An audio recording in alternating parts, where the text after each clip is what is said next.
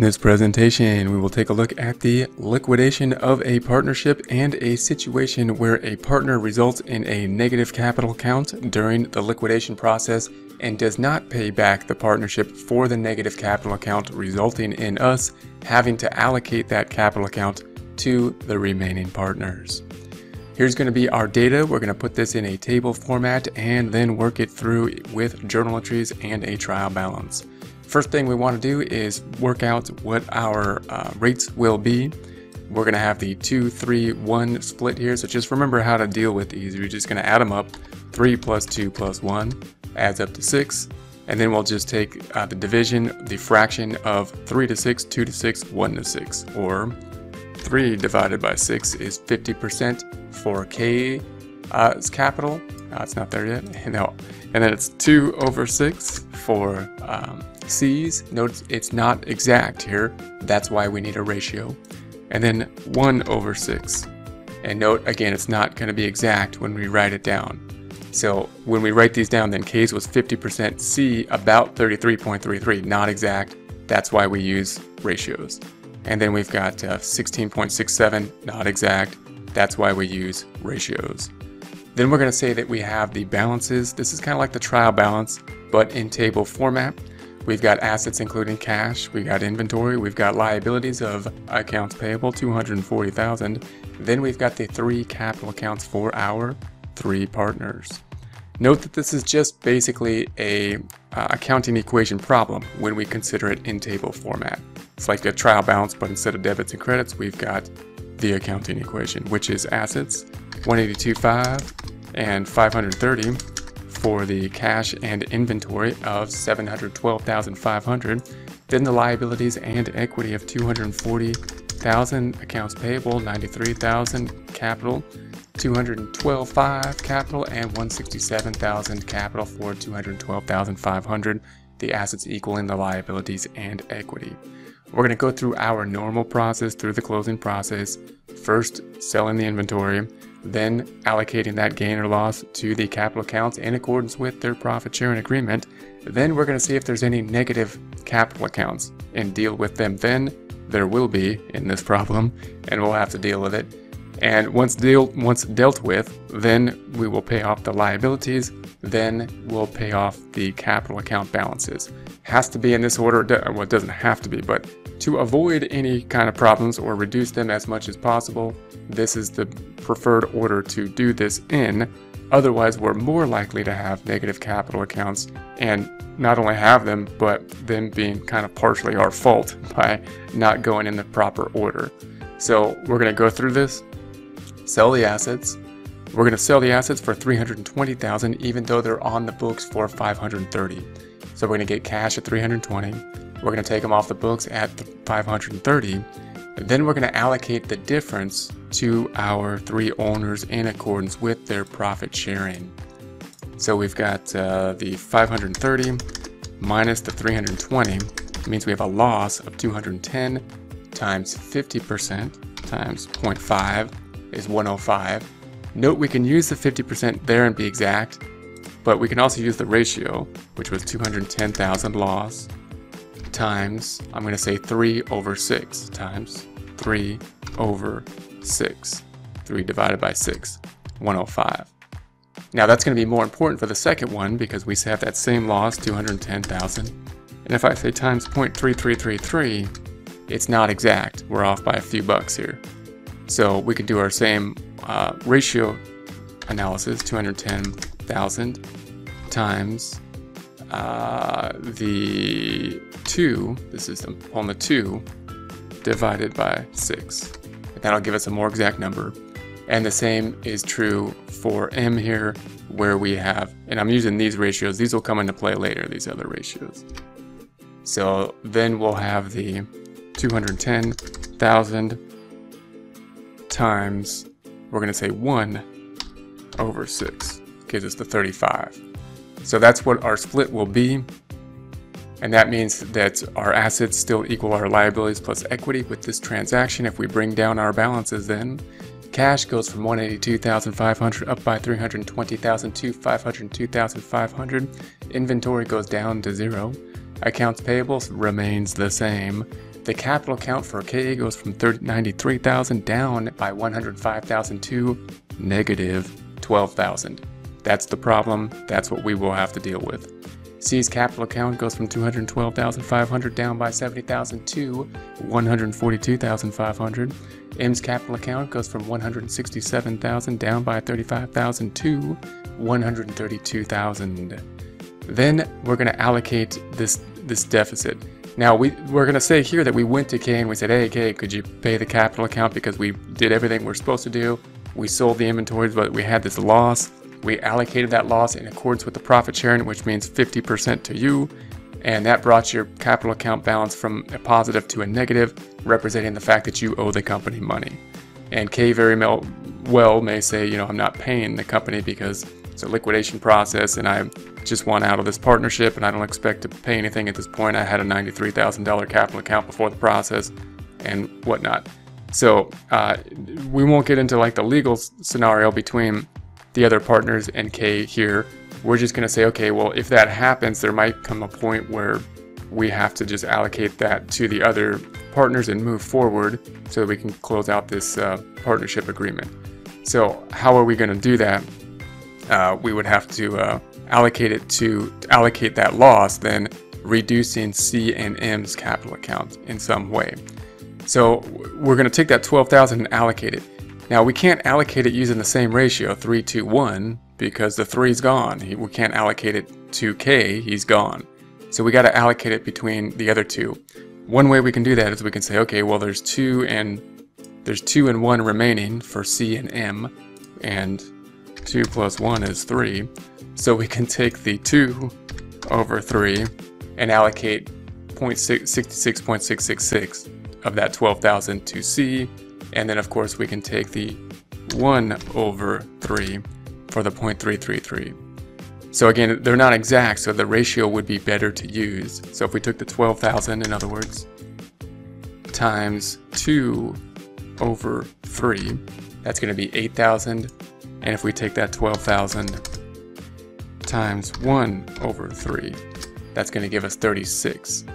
So we'll apply that 12,000 uh, taking cap, uh, K's capital down to zero, apply it 8,000 to C and 4,000 to M.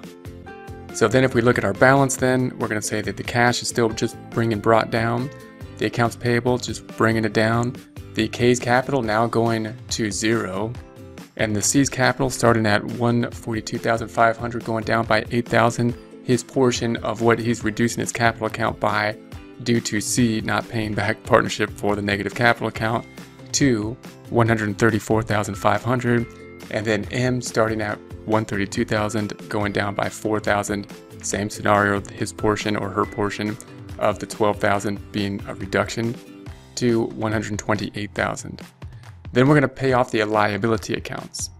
So the liabilities are on the books for 240 we're going to pay off the 240 and then we're going to reduce the liability by the 240. If we bring the balances down, then we're going to say the 502,500 cash minus the 240,000 cash brings us to 262,500. Accounts payable going from 240 down by 242, zero. Then we'll just bring down the capital accounts at 134,500 for C and 128,000 for M. Then we have the distribution to the owners. All we have remaining being cash and what is owed to the owners, and we can just distribute what is owed, bringing the balances down to zero. Uh, note uh, that these these final distributions and the capital counts along this whole way will not necessarily match the profit sharing agreement. So remember, the profit sharing only has to do with the allocation of net income, not with draws, not with investments. Therefore, the balance in the capital accounts will not necessarily match the ratios given for the profit sharing. Okay, so now we're going to do the same thing in terms of a trial balance, in terms of journal entries. When you see this in practice, many times you'll work with a lawyer if you actually do this in practice, and they will uh, um, probably, most likely. And a lot of times uh, they like to see things in table format. Obviously, when recording the information or just going through it, I like to see journal entries as well to visualize this process. So the journal entries will help us to visualize what actually happens. And when we actually do it, we will need to have the journal entries. So here's our trial balance, our, our nice little short trial balance that give us an example here. And we've got the debits in positive numbers, the credits in negative numbers, debits minus the credits equals zero, or debits equal the credits. We have the assets in green, liabilities in orange, and the capital in blue. The income statement, revenue and expenses in dark blue. Note, there are none. They're all zero. No revenue and expense accounts. When we close out the company, we need to have those at zero, meaning we have, in essence, a post-closing trial balance with no income statement accounts. That must be the case, otherwise the capital accounts will not be properly valued because the net income hasn't been allocated to it. So now we're gonna go through the closing process, same thing as we did with our table, journal entry format, first selling the inventory, the only inventory we have, selling the assets, the only assets we have being inventory. And obviously, cash is an asset, but we're not selling cash. We're going to get cash. So cash will be the last thing we do. We're going to sell all other assets. So we're going to say that we sold it for 320,000, and the assets on the book for, for 530. So we're going to reduce it by 530. 530 minus 320 gives us a difference or a loss of 210. So here's going to be our journal entry. We result in this loss. If we post this out, the cash is going to go from 182,500 up by 320,000 to 502,500. Inventory is going to go from 530,000 down by 530,000 to zero. And the loss then going from zero up in the debit direction to by 220, 210 to 210. Now, of course, you'll note that we have recorded this loss here a little bit different than we did it on the table, where we just allocated that difference directly to the capital accounts in accordance with their profit sharing. This loss is probably the way we would see it more likely uh, in practice when we sell an asset, something like this. We would record the loss. So we will, we're doing this in kind of a two-step process. We're going to record the loss, and then we're going to go back and uh, close it out, in essence, have a little closing process to close it out to the capital accounts because that's probably more familiar than us doing uh, just allocating that loss in this journal entry. So that's our next step. We're going to have to get rid of this, get back to the post-closing trial balance, close any income statement accounts to the capital accounts before moving forward. To do that, we're going to say that this loss is going to be allocated to K, C, and M respectively in accordance with uh, 50.33 and 17 uh, percent profit sharing. Now note that these are, are not exact again, so they're just going to be rounded because we're not using the actual ratio. So 210,000 times 50%, uh, that one's exact because that's uh, 50%, but this one's an estimate. So remember this was uh, 210,000, it's really like 0.3333, and that's pretty close, it should be 70,000, and then 210 thousand times 0.16666 is what it what it really is, and that's pretty close there. So just be be aware that if we if we just used uh, 0.33, we would be you know fairly fairly substantially off, right? 0.33. That's why we use ratios. So It should be 70,000. So uh, just be careful with those. Um, so we're going to go through these again. C, we're going to have uh, 70,000 and M 35,000 allocated of this 210. So 105, 70, 35. And then we're going to credit the gain or loss. So in other words, I would think of it this way. We're going to take the gain or loss off the books with a credit, which we put on the bottom to be proper. And then we're going to debit the uh, capital accounts in accordance with the profit sharing of the 105 to 70 and the 35, which is 50.33 and 0.17% of the 270,000, about 0.3333 really 0.166666 on forever. Okay, if we post this out then, we're going to say that the capital account for K, it started at 93,000. We're going to make it go down by 105,000, not only to zero, but past it to negative 12,000. There's our problem. We shouldn't have a negative capital account. We shouldn't have a debit balance in the capital account. And that's what we're going to have to deal with. Then we have the 70,000 is going to be posted to this 212,500. Goes down by 70 to 142,500. Then we have the 35,000 is going to be posted here to the 167,000, bringing it down by 35 to 132,000. Then we have the 210,000 gain or loss. It's going to be posted here bringing that 210 down by 210 to zero. So if we look at our balances now, uh, our problem here is going to be this 12,000 negative capital. Same thing we had on the table. We're going to ask uh, K, the partner, hey, you know, we did everything we could. You got a negative capital account. You really should pay the partnership back in the closing process because that 12,000 um, should be is really kind of owed to the uh, either the liability or the other two partners. And so we really kind of need you to pay the partnership before we can move forward with the partnership closing or liquidation, if they say no, then uh, at some point we might have to say, okay, we're going to move forward anyway. And again, we won't get into the legal ramifications of that, but uh, we'll just move forward in terms of journal entries, which means we're going to have to allocate that 12,000 to C and M in some way. So now we're going to reduce the 12,000 and allocate it. So this is going to go off the books. It's on the books at a debit. We have to make it go to zero, doing the opposite thing to it, a credit and then we're going to debit the other two capital accounts, C and M's, in accordance with their profit sharing. Now we have a problem to do that, same problem we had on the table, in that uh, the profit sharing was at a 321, which is which adds up to 6, which is 50, 30, and 0.17 about. But this this we can't allocate here because this person is that's who we're allocating from. We're taking it from K's Capital, who's basically not paying it back, to go to C and M. So we can't use the same ratios. We can't use uh, 0.33 or 0.17 because that doesn't add up to 100. So we, we, what we can do is that's the same thing we did on the table. Is take these two. That's a 2 and a 1, by the way. And then the 2 and the 1, which adds up, wow, it's a big equal, adds up to 3. So then we can take the 12,000 uh, times 2 over 3 is 8,000, and we can take the 12,000 times 1 over 3, which, whoa, whoa 12,000 times 1 over 3 is 4,000. Or in other words, we're taking 2 over 3 is 0.666, which matches here, times 12,000 is 8,000, and we're taking 1 over 3 is 0.3333, times 12,000 is the 4,000. Okay, so that's going to be our allocation. So we're going to take this off the books, making it go to zero, allocate the debits, which will reduce their capital accounts for C and M in accordance with the profit sharing, which we just reallocated to be this 0.6666 and 0.333333 on forever.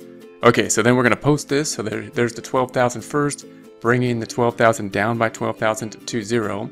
The other two losing or reducing their capital accounts. The 8,000 uh, C started at 142,500, going down by 8,000 debit to 134,500. Uh, M starting at 132,000, going down by 4,000 to 128,000. So now we have our balances. We only have our two partners. They're both negative capital accounts, so we are okay to move forward and pay off the liabilities. So we're going to pay off the liabilities now with cash. So the liabilities are on the books for 240,000 credit. We're going to do the opposite thing to it, debit to bring them off the books, and credit, of course, cash. That's what we're going to use to pay it. So if we post this out then, this liability is going to be posted here, this 240, bringing it down by 242, zero. Then we have the cash here, it's going to be posted to the 502, 500 cash debit. We are going to credit it, making it go down to 262,500. Now we're going to be left with just the cash and the two uh, capital accounts. Nice, easy ending process here. All we have to do now is pay off the cash in accordance with whatever's in the capital accounts. No ratios, no math here. We're just going to pay it off whatever's there. So that means that this capital account's on the books for 134,000. It's a credit. We're going to debit it. This capital account for M is on the books for 128,000. It's a credit. We're going to debit it. Then we're going to credit the cash, which is on the books for 262,000, which also, of course, is equivalent to 134,500 plus the 128,000. If we post this out, then the uh, capital account for C goes from 134,500 down by 134,500 to zero. M's capital account goes from 128,000 down by 128,000 to zero. Cash goes from 262,500 going down by 262,500 to zero. And now we have all zeros and the liquidation process is complete.